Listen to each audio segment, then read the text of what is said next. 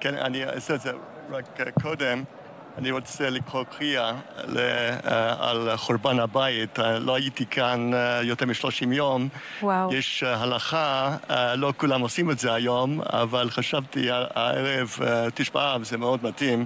אז אני עושה קריאה לבית המקדש, כי במקום החשוב הזה יש כיפת הסלע.